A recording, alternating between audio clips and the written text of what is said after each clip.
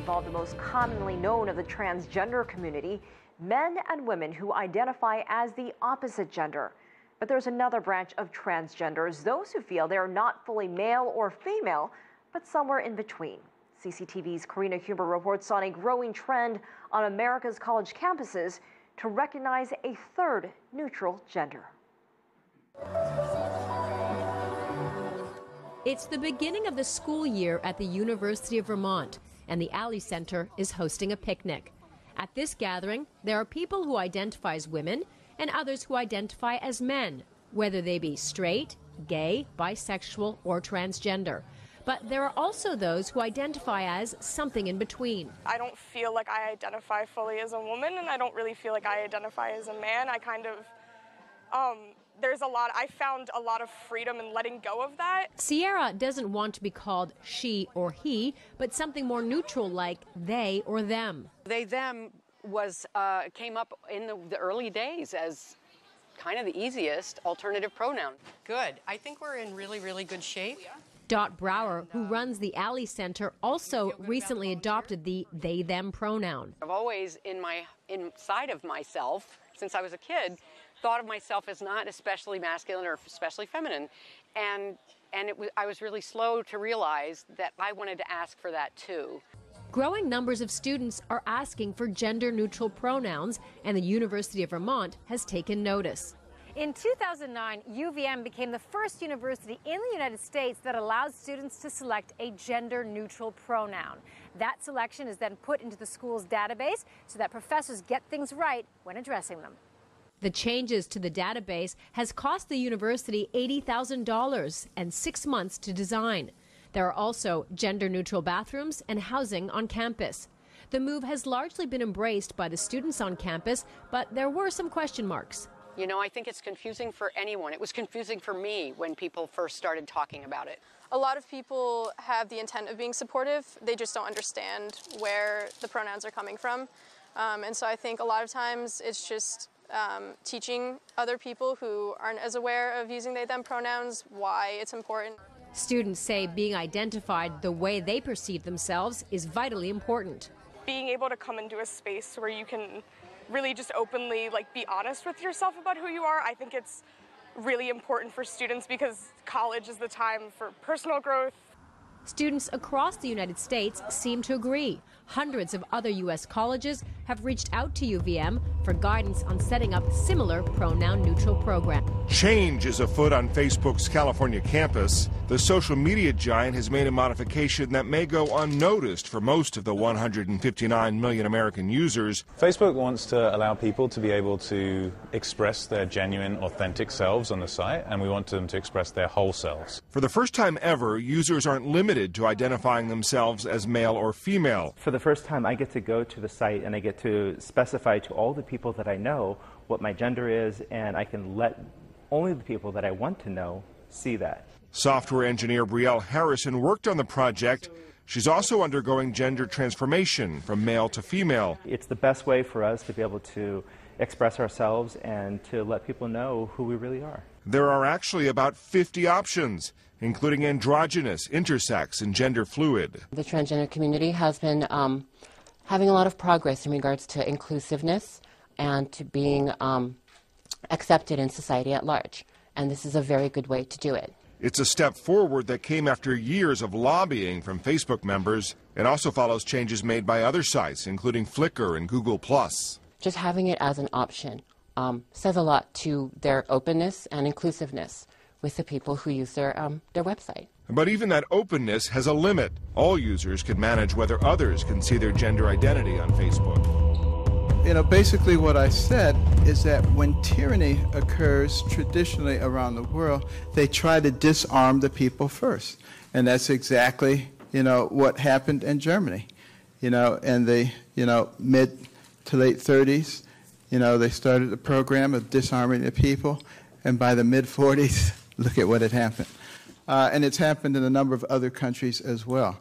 Daniel Webster said tyranny would never occur in America because the people are armed. So there's a reason that we have the Second Amendment. And it doesn't mean that I'm not happy to look at ways to keep these tragedies from occurring as long as they don't interfere with the Second Amendment. I would feel much safer if my kid or grandchild was in a school where I knew that there were people who could protect them if somebody like that came in. To me, what I'm talking about is common sense. To uh, some of the people out there, there is no such thing as common sense. President Obama is on a West Coast swing this weekend. Last night, Mr. Obama was at a political fundraiser in Seattle. He addressed the issue of the number of recent mass shootings in the U.S. We know that we've got to do something to prevent the kind of gun massacres that we saw just last week and two months before that and two months before that and two months before that because it is not normal, it is not inevitable, it doesn't just happen. It is a choice that we make and it is a choice that we can change the president's visit to Seattle came after his controversial visit to Oregon. Here's John Blackstone with more on that. The protesters gathered at the Roseburg airport carried both signs and guns, a potential nightmare for the Secret Service. Alan Montgomery made no attempt to hide his holsters. Is, is part of your statement here the fact that, as I see it, you've got a couple of guns on you? Well, that's not necessarily a statement more than it is just my right. As the president's helicopter arrived, many showed their distaste for his call for more gun control. Obama, go home! The White House has indicated the president is considering an executive order that would require more gun retailers to conduct background checks. In spite of the killings here, that remains an unpopular position in this part of Oregon. Sally Telford is a gun owner. Our Second Amendment says no infringement. That means no infringement. So anybody can have a gun? Yes. Somebody with mental problems? Yes, can everybody have can have a gun to defend themselves. So you can't just make us get a background check because somebody might have a mental problem. The president's motorcade avoided the largest group of demonstrators on his way to Roseburg High School, where he met privately with families of all the victims of last week's shooting. We're going to have to come together as a country uh, to see how we can prevent these issues from taking. Showdown in San Francisco between lawmakers concerned with public safety in the city's last remaining gun store reaches an endgame. The store is closing under siege from new regulations from City Hall. John Blackstone shows us how gun supporters wonder if it was even a fair fight. The modest storefront in San Francisco's Mission District doesn't do justice to the iconic status of Highbridge Arms. As the last gun shop in San Francisco, it does as brisk a business in souvenir shirts as it does in firearms. We've gotten a call from someone in uh, from Minnesota yesterday. We sent two off to uh, St. Cloud. the shirts have been selling quickly since Highbridge announced it's shutting down. At the end of October, we'll be uh, we'll be done. General Manager Stephen Alcairo says the store is being pushed out of business by a proposed city law that would require every gun sale to be videotaped. When a customer takes delivery of their firearm, um, they want us to videotape that person doing that and then submit it to the police department. Gun buyers already have to fill out a detailed form, go through a background check, and a waiting period. But sending a videotape of the purchase to local police strikes Alcairo as one regulation too many. But the idea was just announced. Uh, that following two weeks, sales just dipped. It was like a ghost town here. Nobody was coming in. In Afghanistan this morning, American military investigators are still not sure why a hospital in the city of Kunduz was bombed. Doctors Without Borders blames the U.S. led military for Saturday's airstrike. 22 people were killed. The United Nations human rights chief called the attacks inexcusable and possibly even criminal. Mark Phillips is tracking this story from London. Mark, good morning. Good morning. Well, the damage done to the hospital was catastrophic, and the damage done to the reputation of the U.S. air campaign in support of the government in Kabul is, in PR terms, catastrophic as well. The question is no longer whether the MSF hospital in Kunduz was hit by airstrikes, and almost certainly U.S. airstrikes. The question is how and why. Doctors Without Borders, which has run the hospital, says both the government in Kabul and the United States knew where it was, and that the air raid continued even after they raised the alarm that the facility was being hit. The Afghan government line that Taliban fighters were inside and shooting from the hospital, MSF's UK executive director Vicky Hawkins says is a lie. The comments coming from the Afghan government are absolutely outrageous. I mean, they are to an extent justifying the destruction of a fully functioning hospital. U.S. Secretary of Defense Ash Carter has promised an investigation. That we be full transparent about our investigation and also that we hold accountable. Uh, if there is some someone to be accountable anybody responsible for doing something they shouldn't have done. But that's not good enough for MSF we would like an independent investigation and only then will be will we be in a position to to make decisions about the future. But representatives from the international aid group say they refuse to buy into the defense. Claiming that they were targeting fighters is not proven by the facts. So uh, this claim is, is, uh, is ridiculous. Our staff has heard no fighting coming from the compound. The group, also known by its French acronym MSF, has accused the U.S. of violating international safeguards meant to protect hospitals. If these conventions are no longer recognized by the big warring parties, we have a major issue on our mere existence and the action that we do. And not only MSF, but all humanitarian actions. That's why this inquiry is fundamental to have an independent look at what happened, because the fundament of humanitarian action have been attacked. President Obama delivered a rare personal apology to the head of Doctors Without Borders for a U.S. airstrike on a hospital operated by the medical charity in Afghanistan. That attack killed 22 civilians. Margaret Brennan is at the White House with what the president said. Margaret, good morning. Good morning. Well, after four days of differing stories about how that hospital came under attack, President Obama decided to call Doctors Without Borders and say he was sorry. White House spokesman Josh Earnest said the president made a personal decision to apologize. When a mistake occurs, uh, the United States owns up to it, uh, and we vow to get to the bottom of what exactly happened.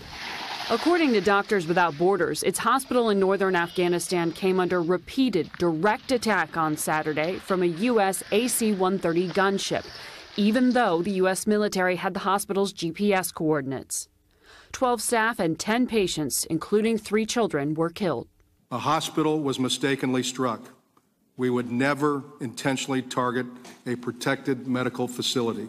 The head of U.S. forces in Afghanistan, General John Campbell, told Congress this week that Afghan troops had requested the air cover because they were facing a Taliban attack. A slightly different account than a day earlier when the U.S. said American troops had been under threat. It is still unclear whether the American pilots knew that they were firing on a hospital. Those details are the focus of three investigations. Despite the rare presidential apology, Doctors Without Borders says it cannot rely on the U.S. to investigate a possible war crime and is demanding an independent probe. U.S. Director Jason Cone. We've seen how over the last 96 hours the stories continue to change. Uh, I think, as anyone can imagine, that it's difficult to see how three different uh, parties to a conflict can conduct an investigation uh, impartially and independently. We turn overseas tonight. That massive escalation by Russia, lobbing missiles at Syria, they say targeting ISIS. But tonight, U.S. officials now say some of those missiles accidentally crash landed in Iran and troubling images coming in appearing to show children in Syria being rushed from the scene after those strikes. Here's ABC's chief global affairs correspondent Martha Raddatz tonight. It was an impressive display of firepower. that volley of 26 cruise missiles headed to Syria. But we now know four of them never made it, crashing into rural Iran. But those Russian airstrikes they claim are targeting ISIS have been devastating. A Syrian aid group says these young children have nothing to do with ISIS. The U.S. says Russia is targeting rebel forces opposing the dictator Bashar al Assad. Today, U.S. Defense Secretary Ash Carter predicted Russia will face the consequences for its growing involvement in Syria. We've seen increasingly unprofessional behavior from Russian forces, and I also expect that in coming days the Russians will begin to suffer casualties in Syria. David, Russia's involvement poses a danger to the U.S. as well. Those cruise missiles and airstrikes are launched without warning, meaning U.S. pilots have to do their best to stay out of the way, David. We are led by very, very stupid people. Very, very stupid people. We cannot let it continue. We are a country that owes $19 trillion.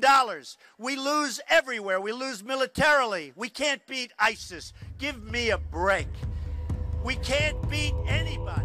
Washington has abandoned its strategy to train the rebels in Syria. The Pentagon's announced it's pulling the plug on the $500 million campaign to build an opposition force on the ground after just one year, well short of expectations.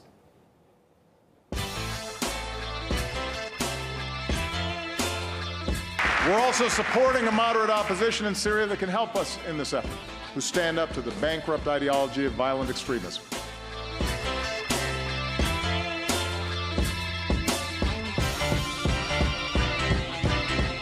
Can you tell us what the total number of trained fighters remains?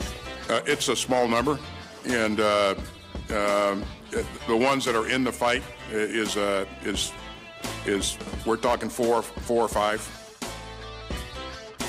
Let's not kid ourselves, that's a joke. We have to acknowledge this is a total failure. It's just a failure. This train and equip program has not, uh, frankly, uh, uh, lived up to uh, what we initially thought. Program hasn't lived up to expectations. That's an understatement, isn't it?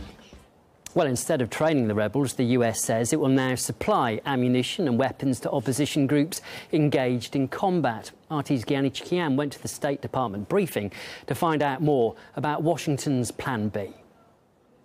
The State Department says that the U.S. quits training the Syrian rebels. Instead, it will focus on just equipping them. The move came after everyone learned that despite the program's budget of $500 million, the U.S. had only a handful of trained fighters in the battlefield against ISIL. Here's how the State Department spokesperson explained the policy shift. Everybody acknowledges that there were issues and challenges with respect to the training aspect uh, of some of these moderate opposition uh, fighters. But what has proven effective in the past, particularly in Syria, has been the equipping part of training and equipping. The State Department now says it will provide equipment to those in whom the U.S. has, quote unquote, a measure of confidence. But it cannot say how the U.S. will measure that confidence. Because you've used this phrase now at least three times, and other officials have too, about this measure of confidence. What unit of measurement are we talking about here? Don't you need to be totally satisfied that these people are not, you know, rampant human rights abusers and beheaders is that a foot, a court? You know, what is it? It is. It is not. Uh, I don't think it is. Uh, I don't think we can enumerate it the spokesperson also added that the measure of confidence will be based on knowledge and previous experience. Now, about that previous experience, the reason the U.S. scrapped the train and equip program the way it was initially designed is because it hasn't worked. The key question is why it hasn't worked. U.S. officials now seem very reluctant to talk about this, but a few months ago, Defense Secretary Ash Carter testified in Congress and said it's difficult to identify rebels with the right mentality who would not then turn over their weapons and themselves to ISIL. I reminded reminded the State Department spokesperson of what the defense secretary said and again asked if he can explain why the program hasn't worked. Here's what I got. I would certainly not challenge the assessment of the defense secretary, but if you already had that, then you probably already had at least some of the answer to your question. Anyone who completes training at the camp is sent to a second camp to get more strict training before being sent to fight in Kobani. They tell us that we are going to fight Yazidis and kill them because they are infidels. And if you die, you will go to heaven and they will go to hell.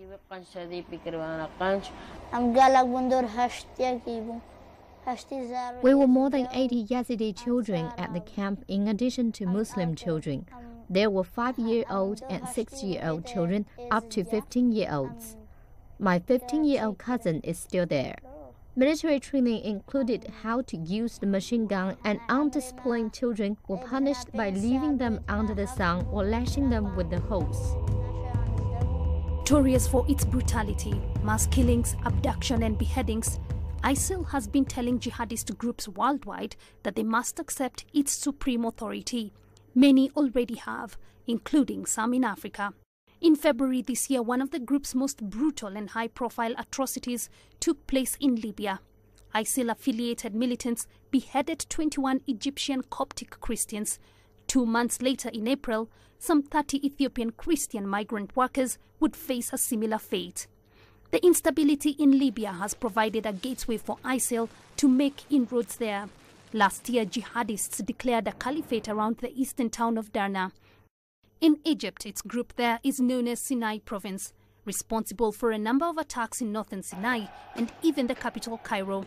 The group, which has been active on the Sinai Peninsula since the uprising in 2011, pledged its allegiance to ISIL last November.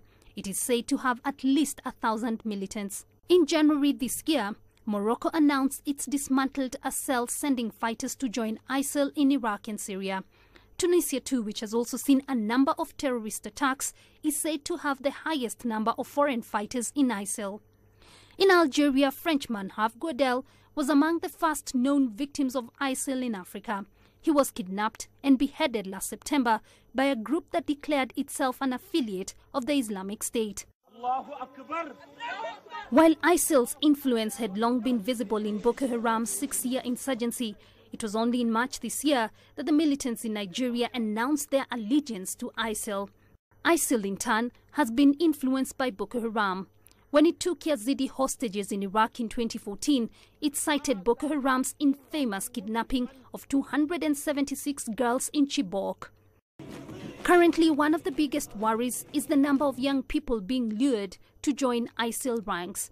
South Africa and Ghana, among the most recent targets of recruitment by ISIL forces.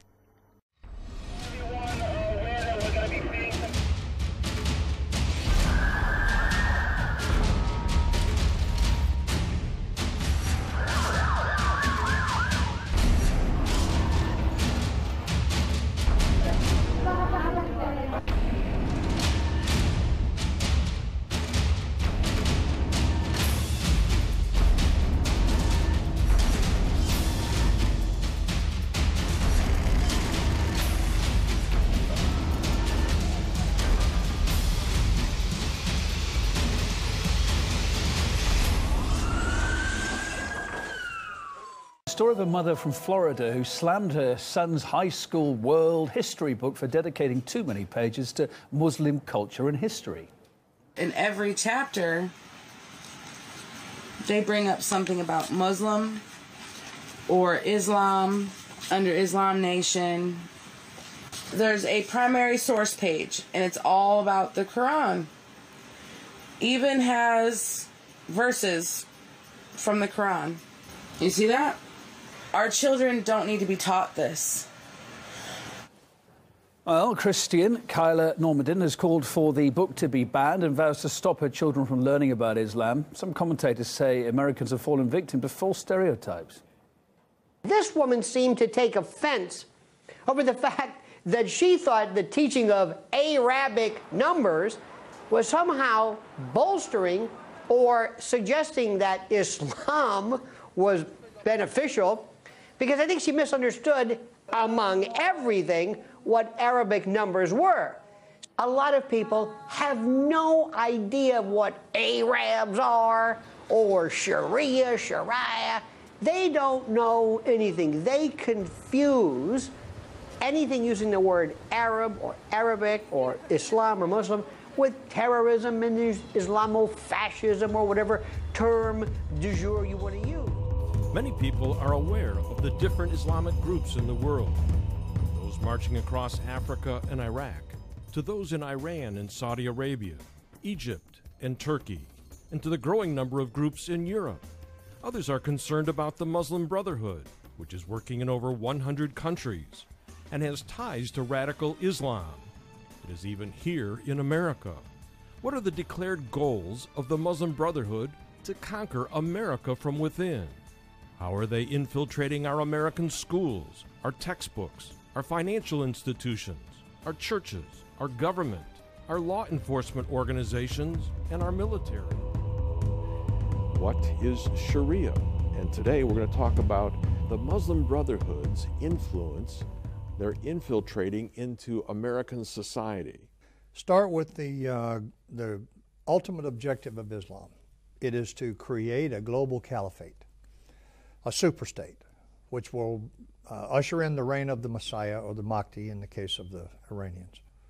It's not clear exactly when they came into America, but we can say safely they were here in the early 60s. The Muslim Brotherhood denied that they were actually operating in America until Mohammed Morsi, who took over as the president of Egypt after the fall of Hosni Mubarak, stood up and proudly said, My wife and I joined the Muslim Brotherhood when we were going to college in California.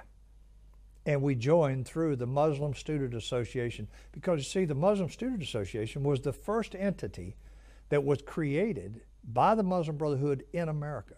Now, there are many front groups for them now. You can go to the Holy Land Foundation trial unindicted co conspirator list and you can find all the Muslim Brotherhood fronts, uh, at least those that were identified during that trial. But uh, Morsi blew the whistle and, and really let the cat out of the bag that, yeah, you can't deny anymore that the Muslim Brotherhood is operating in America. And they have all these front groups. And these front groups, John, are, have infiltrated every sector of our society. And it's a very dangerous situation. What was the motto of the Muslim Brotherhood when you were in it? You know, the, Allah is our way, you know, the Quran is our constitution, Muhammad is our leader, and dying for the sake of Allah is our highest aspiration. This is what we chanted daily while we're in camps. And our camp started in the mosques, you know, in, in the neighborhood mosques. That's where we chanted all this. But there's, uh, it is, you know, the Muslim Brotherhood today, you know, that is, uh, how do we know the radical from non radical? It's very important formula. We asked these Muslims, you know, uh, do you believe that Sharia law should be part of the American Constitution or any European civilization? If they said yes, know that you are standing beside a radical or infiltrator because otherwise they run away from a radical Islam and they don't want Sharia law you know, to be part of this.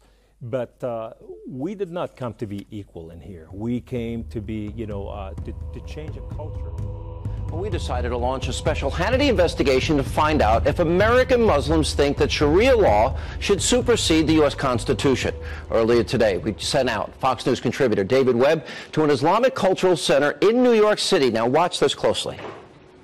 Your thoughts should Sharia law supersede the U.S. Constitution no, but uh, I, I think the Sharia law is made by, uh, by God, by Allah, and the Constitution is made by people. So it's not the same.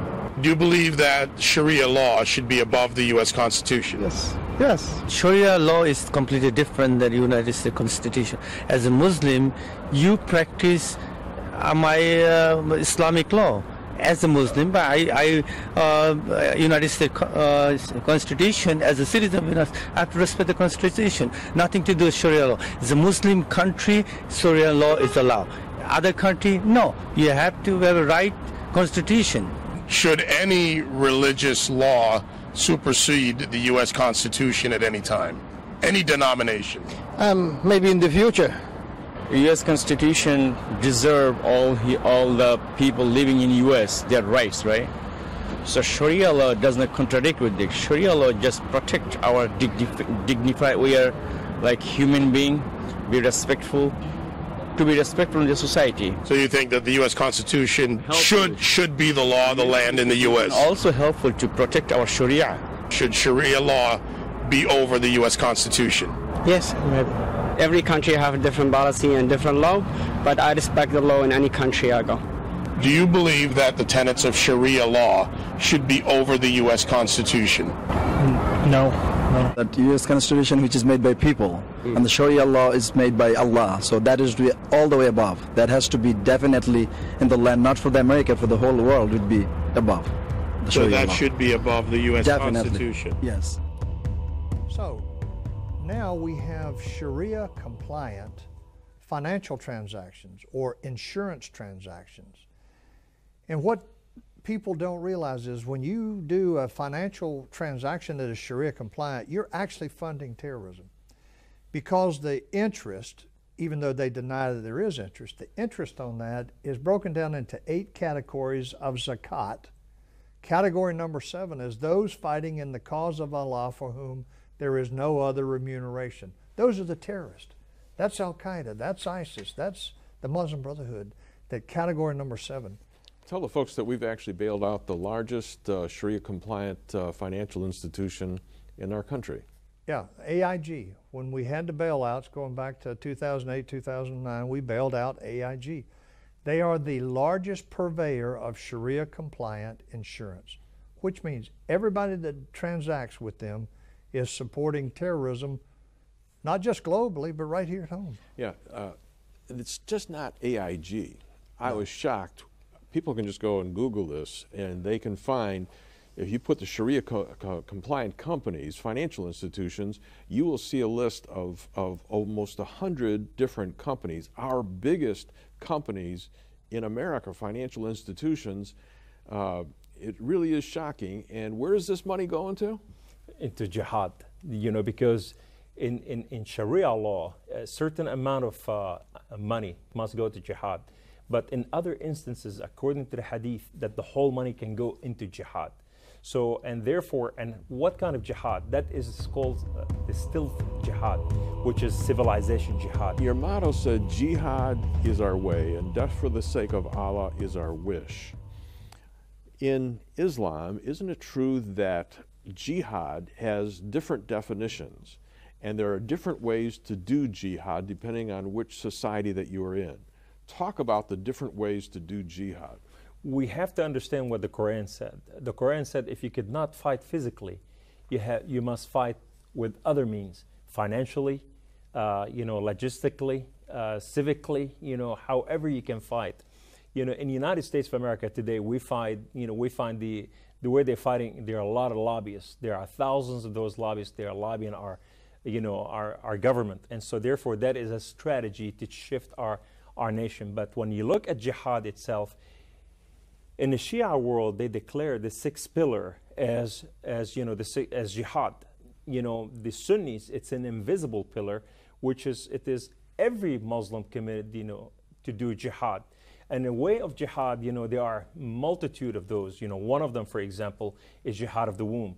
Moving into a state and therefore start birthing, having children, taking over uh, a civilization. The other one, it is by subjugating the culture and all its freedom to your needs where they start you know they become slave to you. The other one it's political jihad. Then they have banking jihad the financial jihad. Then you have uh, jihad you know the jurisprudence the 9-11 and then you have what uh, what we spoke about before uh, about the three strategy doctrines al-kitman al-taqiyya and uh, you know these are you know how to change and lie for the sake of islam to establish islamic civilization in the Quran, the Quran says, وَمَكَرُوا وَمَكَرَ اللَّهُ وَاللَّهُ خَيْرُ الْمَاكِرِينَ Meaning, Allah has deceived and the, and the Christian and Jews deceive, but Allah is the greatest deceiver. So that the strategy for Islam, number one, on this is to deceive their enemy. So you know, organizations like Muslim Brotherhood and all of their affiliates get into the universities. Uh, they create Islamic chairs. They fund it with $20 million like the Wahhabi, the Saudi monies do. Then they put in their version of Islam there. They create Muslim student associations where they train up these Muslim student associations to put fear into those, and they call it Islamophobia. So now you've targeted them.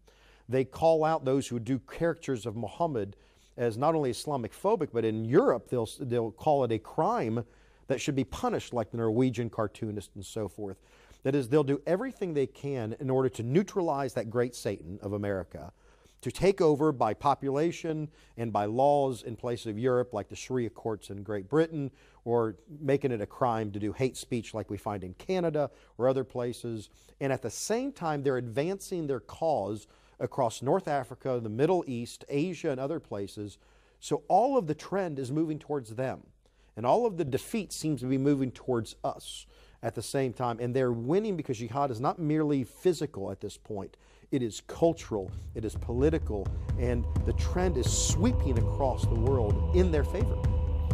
Yeah, Jerry, you've also uh, talked about uh, Muslim Appreciation Day up there in Dearborn, Michigan.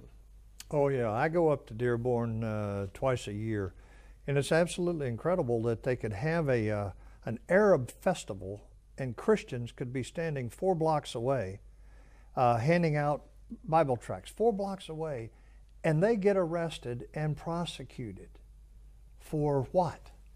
Free speech certainly you know, applies in this situation. Kamal is speaking up in that area there, and the sheriff or the police chief comes and closes down his event. No free speech in that area. Why? Dearborn, Michigan is the largest uh, Islamic culture, Islamic enclave in America, and they have basically uh, decided that there will be no no uh, free speech in that area, and the law enforcement has fallen in with them and this is all part of uh, affecting our, our education of the next generation. And when you have history books, for example, that get into our school systems that say Muslims discovered America, that write one passage about uh, Jesus Christ and 72 uh, references to Muhammad, uh, we have a problem. We're telling them this information about the Muslim Brotherhood and its infiltration into our country for what reason? Why do we want them to know this? Why do we want them to know they're penetrating our educational system, they're penetrating television, they're penetrating our financial institutions, and we've got four or five more big spheres of influence we're going to talk about next week, including our churches and the mosques and other places. Why do we want people to know this? Well, first of all, truth is eternally vigilant, and you only have the lighthouse of America that really stands for freedom, and they're recognizing the more they can infiltrate, the less freedom we can purvey around the world. Not only are we going to give up our own freedoms, but they're seeing that in Europe, and they're setting up their own Sharia court systems in places like Great Britain to such an extent that they're just winning over very quietly. They don't want to awaken the sleeping giants for the reason uh, the militaries can't beat our militaries, but they certainly can do it generationally. And jihad is always generational. And there's one other key to it, which goes back to General Boykin talking about at the beginning of the show. Remember when Hitler wants to say, How do you get the Jews out? And an ultimate key to jihad is Jerusalem and all of Israel.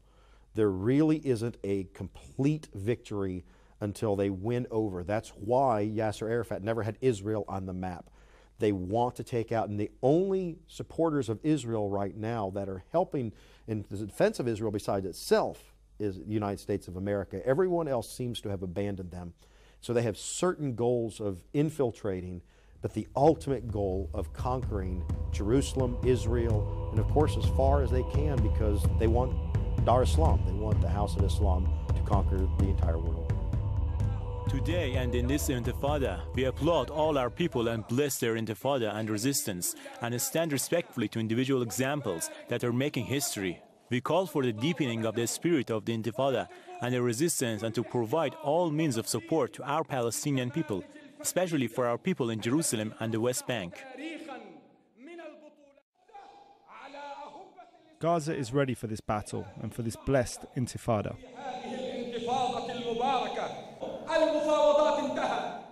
The negotiations ended. There is an American and a Zionist decision to stop negotiations. There must also be a Palestinian decision to stop these negotiations as well. Raging in different parts of Palestine. Seven, several people have been killed in clashes on the Gaza border, with heavy scuffles have also been uh, seen on the West Bank. Clashes have intensified in the region since the start of the month.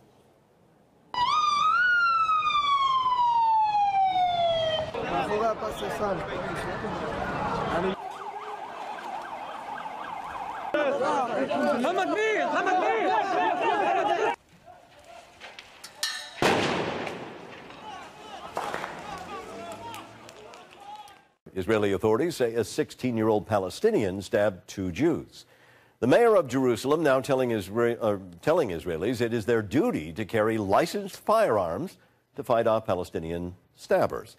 In Gaza, medical sources say at least seven Palestinians were killed and 90 injured as a result of violence there this week. Our Ben Wedeman is in Jerusalem. Ben, this violence seems to be stemming from the recent restrictions by the Israeli government on a holy site, but there obviously is more to it than just that. What's sparking the violence?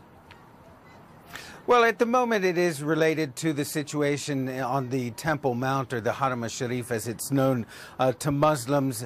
Uh, increasingly, uh, there seems to be a desire among some Israelis uh, to be able to go onto the uh, the Temple Mount and worship, and that is something that uh, wasn't supposed to happen under the so-called status quo that existed on the Temple Mount for decades. But really, when you're looking at the the forest of this conflict, that's just the latest uh, tree. It really goes back to the fact that uh, this conflict remains unresolved now uh, for decades, going back at least to 1967. You'll recall that uh, last spring, U.S. Secretary of State John Kerry uh, failed and once again, the United States failing to work out some sort of permanent peace agreement uh, between the Israelis and the Palestinians. And what you get in the absence of even the impression or the idea that there may be a peace process uh, at work and peace somewhere down the road,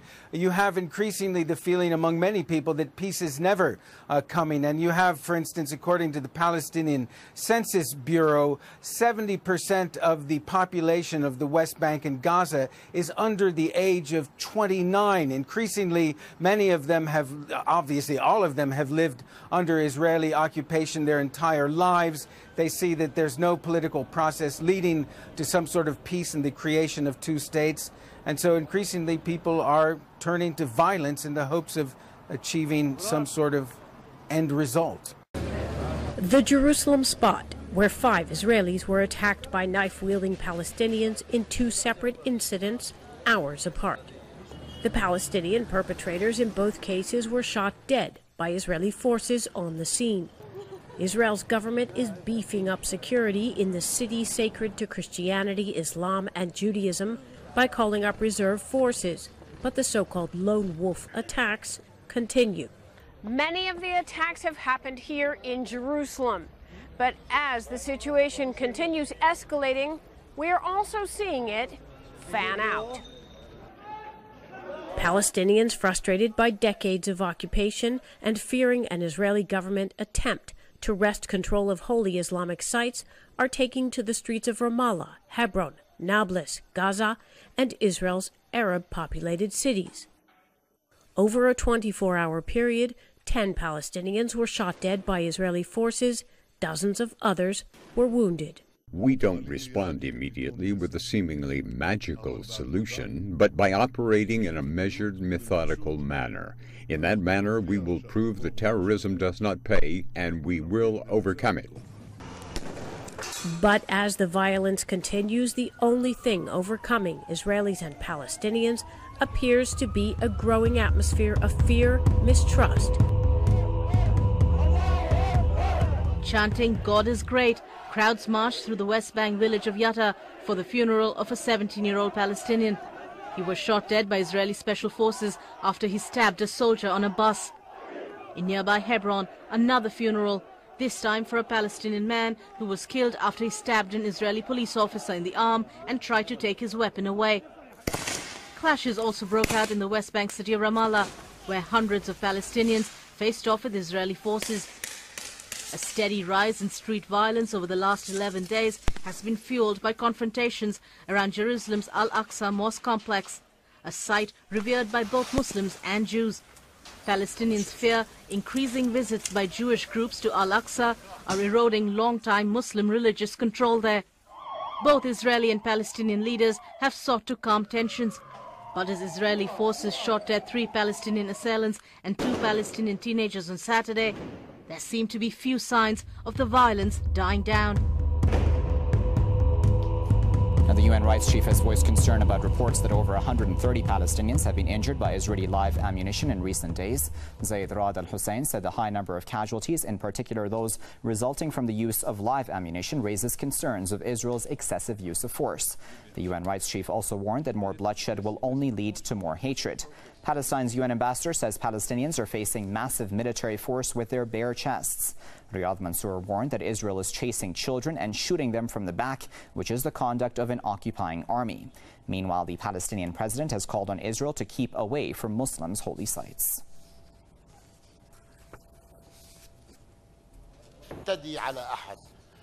We don't attack anyone and we want Israelis to stop attacking us.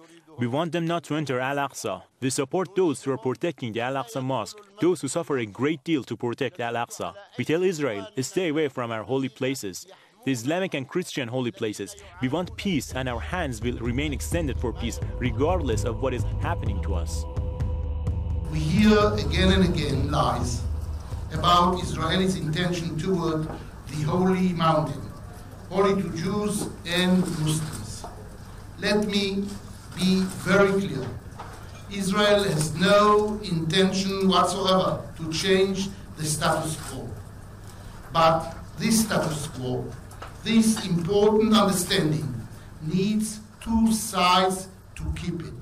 We will continue to respect Muslims' prayers and at the side of mosques and the shrine. But Muslims must respect the Jewish connection to Jerusalem, the Jews who live in Jerusalem, and the Jews who visit it, its holy sites.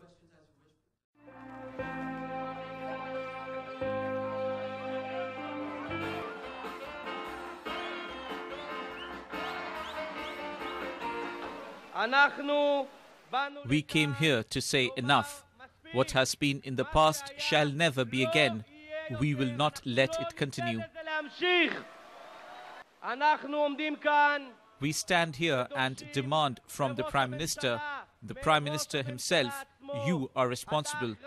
We elected you, and we demand from you security, a change of perception. The enemies of Israel should be trampled, chased after.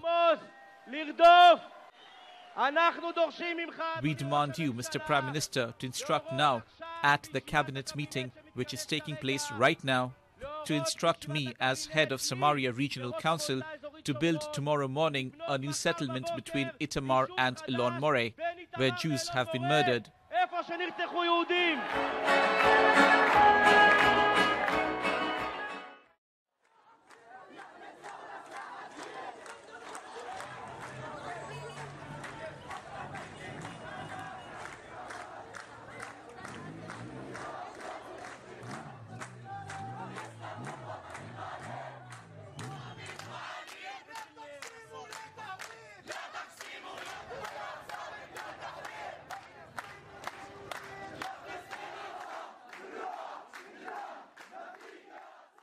Today, the governor of South Carolina warned people on the coast that floods are heading their way.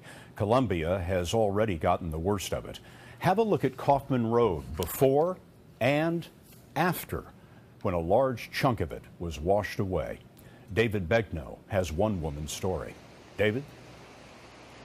Scott, it was Sunday morning as an elderly woman was headed to church and she got stuck right here. Before the road failed as the water was moving across, her vehicle stuck in the middle was pushed off a side and down about 20 yards into a ditch where she picked up her phone and dialed 911.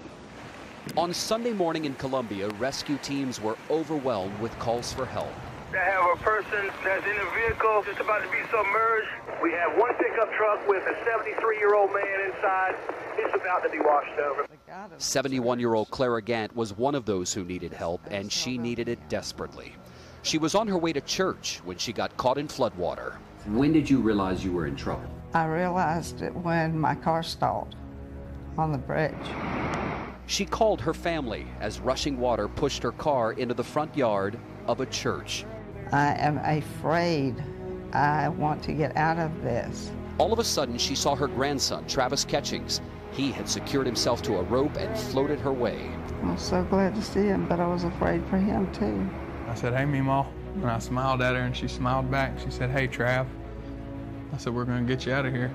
He pulled Gant out of the car, and to keep her from being swept away, grabbed onto a large red cross that was in the churchyard. Together, grandmother and grandson held on for four hours. While waiting, Ketchings recorded the moment on a cell phone. It was like being in the midst of a, a raging river. Yeah, I cling to the cross every day. Sunday, I was literally clinging to a cross. This grandmother is thankful for her faith and her grandson. He saved your life. I call him my hero, but he doesn't want me to call him that. But Nah, I love you, and that's that's what we're here for. I'm glad you're here. If you're wondering what happened to that cross, it disappeared. It was last seen floating away.